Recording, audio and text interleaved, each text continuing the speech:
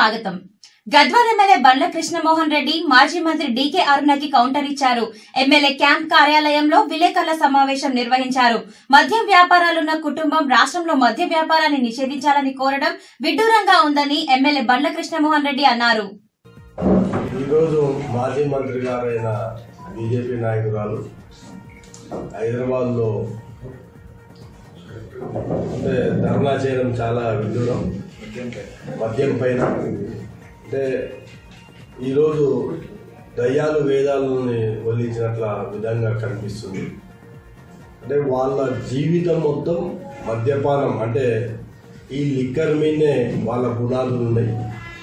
వాళ్ళ రాజకీయ జీవితం పునాది మొత్తం ఈ వ్యవస్థ మీదనే వాళ్ళ బతుకులు నడిచిన ఇన్ని రోజులు. మళ్ళీ ఈరోజు గతంలో ఆమె మంత్రిగా ఉన్నప్పుడు మళ్ళీ ఇక్కడలో అంటే మూడు పువ్వులు ఆరు కాయల వల్లే ఇక్కడ మద్యం ఏరులే పారింది నలభై డాబాల పైన పెట్టి వాళ్ళు ఎంతోమందికి చావు కారణమై మా ఆడిపిన తాలిబొట్టు చిరిగిన పరి తాలిబొట్టు తెప్పిన పరిస్థితి వాళ్ళది. ఈరోజు ఇక్కడ ఉన్న మహిళలకి క్షమాపణ చెప్పి ఈరోజు ఆమె అక్కడ ధర్నా చేయాలి తప్ప వాళ్ళ గద్వాల ప్రాంతంలో కానీ రాష్ట్రంలో కానీ వీళ్ళ వృత్తే మధ్య ఈ లిక్కర్ బిజినెస్ వీళ్ళది. ఈరోజు ఈ నిమిషంలో కూడా గద్వాల షాపులు వాళ్ళ ఐదు షాపుల పైన గద్వాల్లో మద్యపానం షాపులు ఉన్నాయి ఈరోజు వాళ్ళు ఈమె మద్యపానం మీద ధర్నా చేయడం ఒక చేయడం చాలా సిగ్గుచేటు. ఇక్కడ ఎక్కడ ఈ ప్రాంతంలో జిల్లాలో కానీ ఎక్కడ కానీ మొత్తం ఇరవై ఐదు షాపుల పైన ఉండవని తెలుస్తుంది మాకు. అలా మాకు ఉమ్మడి జిల్లాలో వాళ్ళ షాపులు. మళ్ళీ ఈ వీళ్ళ వృత్తే అది. మళ్ళీ ఈరోజు ఆ వృత్తి మళ్ళీ వాళ్ళు చేసుకుంటూ ఏదో ప్రభుత్వం మీద నిందలు మోపడం సరైన పద్ధతి కాదు.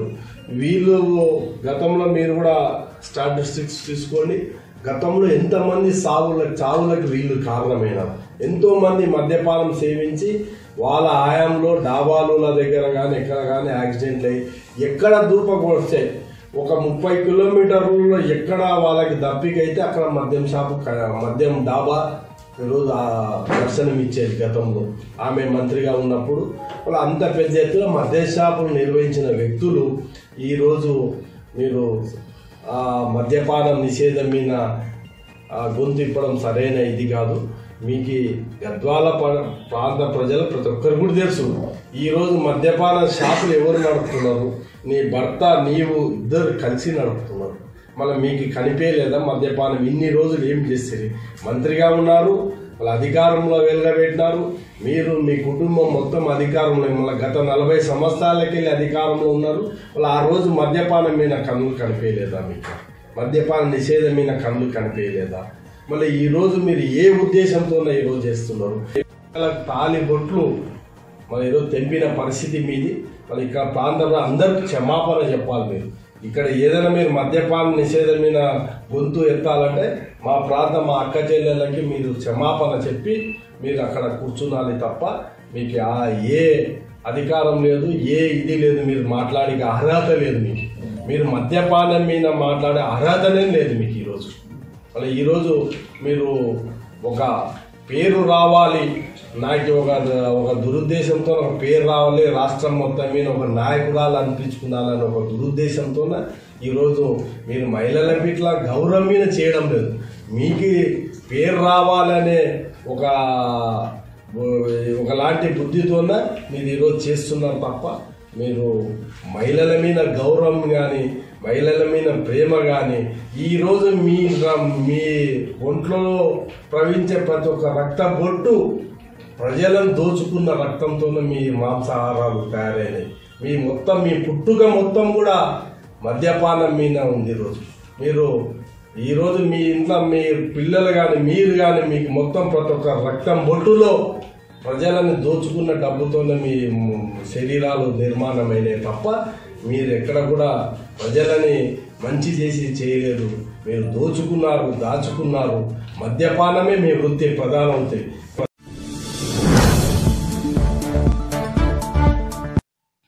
రాష్ట్రంలో రెండోసారి అధికారంలోకి వచ్చి రెండో పర్యాయం ఏడాది పాలన పూర్తి చేసుకున్న సీఎం కేసీఆర్ కు సంగారెడ్డి కాంగ్రెస్ ఎమ్మెల్యే జగ్గారెడ్డి శుభాకాంక్షలు తెలిపారు ఈ సందర్భంగా ఆయన మాట్లాడుతూ ముఖ్యమంత్రి ఆరోగ్యంగా ఉండి మంచి పాలన అందిస్తారని ఆశిస్తున్నానని అన్నారు हमारा केसीआर साहब हम थोड़े पूछना चाह रहे पब्लिक के तरफ से हम ये पूछना चाह रहे कि इलेक्शन मैनिफेस्टो में जो फार्मर को जो एक लाख रुपए माफ़ करेंगे बोले। बच्चों के लिए रियम्बर्स में वो आ, आ, बच्चों के लिए जो जॉब्स नया था वो लोग निरुद्योग वृत्ति अनएम्प्लॉयमेंट पैसे दे तो बोल के बोले। तीन हज़ार रुपये देते हो तीन हज़ार छह सोलह रुपये आप देते बोले। रियम्बर्समेंट का के लिए आप करते बोले। हर एक ग्राम पंचायत को डेवलप करेंगे बोले, हर एक म्यूनसिपालिटी को डेवलप करेंगे बोले। महिला ग्रुप्स को डेवलप करेंगे बोले। ऐसा बहुत बात बोल के आप सीएम बन गए। बनने के बाद हम ये पूछना, आज तक बच्चों को लिए तीन हज़ार सोलह रुपये नहीं आया। फार्मर के लिए एक लाख रुपए माफ़ी नहीं हुआ। महिला ग्रुप्स को लोन्स नहीं है। हॉस्पिटल्स में फैसिलिटीज़ नहीं है। गवर्नमेंट हॉस्पिटल का वो राज्य आरोग्यश्री नहीं है। दस साल में जो कांग्रेस पार्टी आरोग्यश्री था, वो पूरा डेथ कर दी है। आरोग्यश्री आज तक कोई भी गरीब रेशन कार्ड दवाखाना को गए तो उनका जो भी पचास, एक लाख से लेके जितने भी पैसे होंगे उनका इलाज के लिए हम पैसे देते थे कांग्रेस हुकूमत में।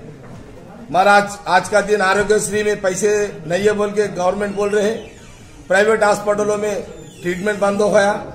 गरीब लोग तो मर जा रहे जो कांग्रेस हुकूमत में जो गरीबी के लिए, इलाज के लिए जो पैसे आरोग्यश्री रखा, उसको डेथ कर दिए। बच्चों का हॉस्टल्स में फैसिलिटीज़ नहीं है पानी नहीं है। अच्छा खाना खिलाते बोले, वो नहीं है। है क्या बोल के आप? क्या दिए? हम ये पूछना चाह रहे एक साल हुआ, क्या दिए आज तक? हम जो भी पूछ रहे हैं, उसमें एक भी नहीं हुआ आज तक। माइनॉरिटीज के लिए क्या करें? एसटी लोग बच्चों के लिए क्या करें? बीसी लोगों को क्या हो रहा?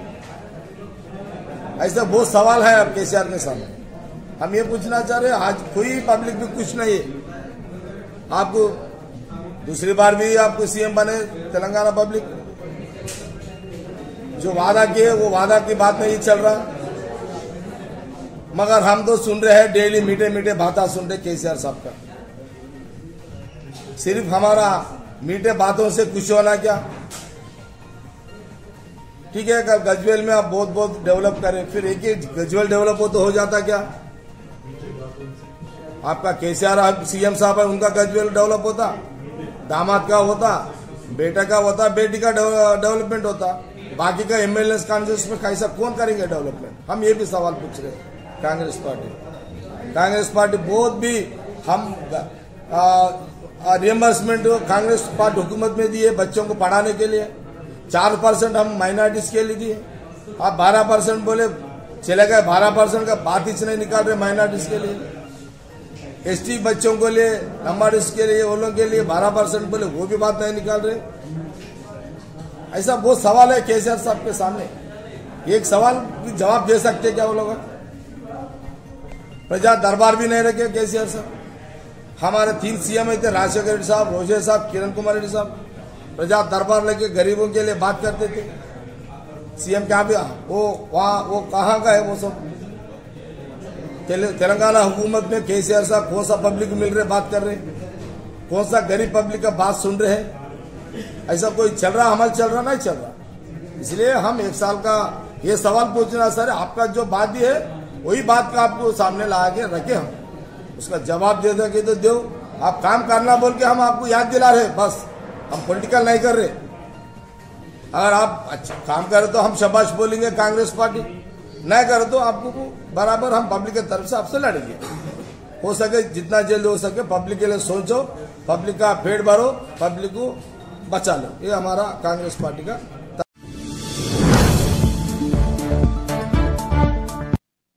నర్సాపూర్ మండలం లింగల్పూర్ పరిధిలోని లాలుతాండలో నిర్మించనున్న రామాలయం ఆలయ నిర్మాణ పనులకు వాల్దాస్ మల్లేష్ గౌడ్ పాల్గొని ప్రత్యేక పూజలు నిర్వహించారు. నర్సాపూర్ మండలం లింగపూర్ పరిధిలోని లాలుతాండలో పన్నిమాత అనుమతితో రామాలయ నిర్మాణం చేపడుతున్నట్లు ఆలయ సహకారులు రామచందర్ తెలిపారు. గురువారం ఆలయ గడప పూజ నిర్వహించారు. ఈ కార్యక్రమానికి ముఖ్య అతిథిగా తెలంగాణ రాష్ట్ర గౌడ సంఘం వర్కింగ్ ప్రెసిడెంట్ బాల్దాస్ మల్లేష్ గౌడ్ పాల్గొని ప్రత్యేక పూజలు నిర్వహించారు. ఈ కార్యక్రమంలో రవీందర్ రాజేశ్వరి శంకర్ పూజారి హరిప్రసాద్ శర్మ పాల్గొన్నారు.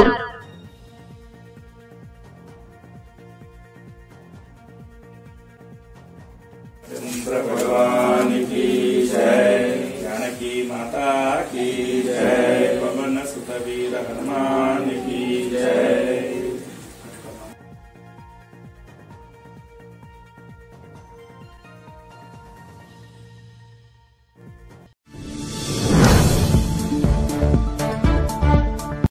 కల్దకల్ మండల కేంద్రంలో స్వయంభూ శ్రీ లక్ష్మీ వెంకటేశ్వర స్వామి బ్రహ్మోత్సవాలు ఘనంగా నిర్వహించారు. ఈ బ్రహ్మోత్సవాలలో ముఖ్య అతిథిగా స్థానిక ఎమ్మెల్యే బండ్ల కృష్ణమోహన్ రెడ్డి సతీమణి బండ్ల జ్యోతి పాల్గొని ప్రత్యేక పూజలు నిర్వహించారు.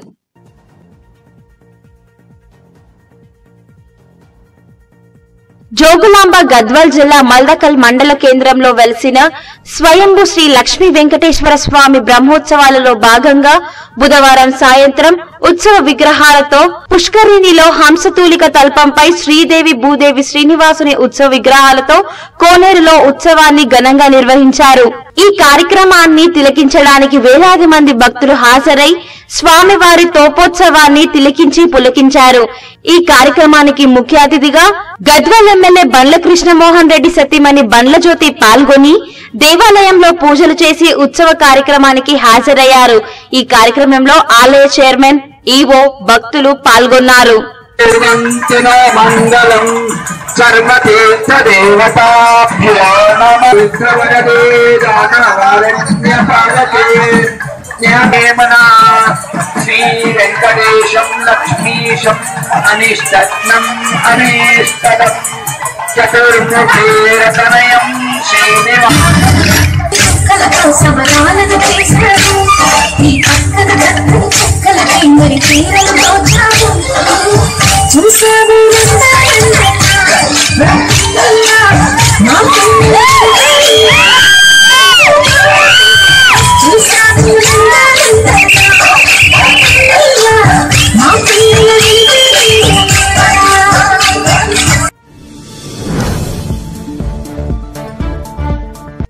నర్సాపూర్ మండలం రుస్తుంపేటలో కలెక్టర్ ధర్మారెడ్డి పర్యటించి మొక్కల సంరక్షణకై సర్పంచ్ ఉపాధి హామీ సిబ్బంది బాధ్యత తీసుకోవాలంటూ కలెక్టర్ సూచించారు.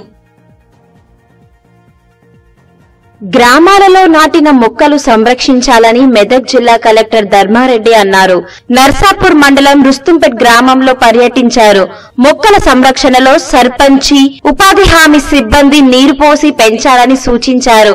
ఇందులో నిర్లక్ష్యం వహిస్తే కఠిన చర్యలు తప్పవని ఆయన అన్నారు. అంతకుముందు గ్రామ సమీపంలో గల సామాజిక అటవీ ప్రాంతాన్ని పరిశీలించారు. ఆయనతో పాటు DRDO PD Sitaramarao MPDO Martin Luther sarpanch Vijay Bhaskar ఉన్నారు. బతికించడానికి ఆయనకి పెట్టి ఆయనకి ఇవ్వండి. ఆయనకి రెస్పాన్సిబిలిటీ ఇవ్వండి. ఆయన పెట్టుకునేది పెట్టుకుంటాడు.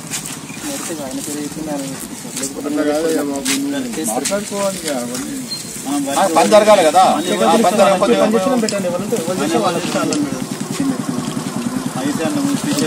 ఉంటారు కదా ఎంత ఎంత పర్సెంటేజ్ అన్ని రాసుకొని ఉంటావు. Hundred percent బతికినట్టు